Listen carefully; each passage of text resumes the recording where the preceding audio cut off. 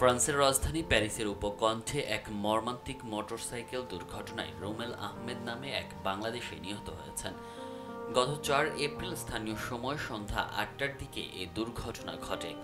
রুমেলের বাড়ি সিলেটের মৌলভীবাজারের জুড়ি উপজেলায়। তার অকাল মৃত্যুতে ফ্রান্স প্রবাসী বাংলাদেশ সমিতি গভীর শোক প্রকাশ করে নিহতের পরিবারের প্রতি সমবেদনা জানিয়েছে।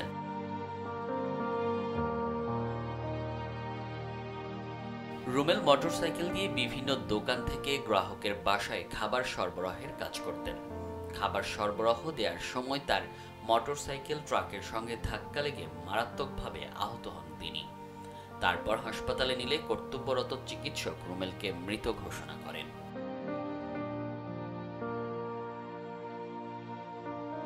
বুধবার পাঁচ মে ভোর সাড়ে চারটার দিকে বাংলাদেশে তার পরিবারের সদস্যদের কাছে নিহতের খবর পৌঁছায়। জুড়ি উপজেলার জাইফরনগর ইউনিয়নের কালীনগর গ্রামের আব্দুল শহীদের জ্যৈষ্ঠ পুত্র ফজলুল হক রোমেল। তার চার বছরের একটি কন্যা সন্তান রয়েছে।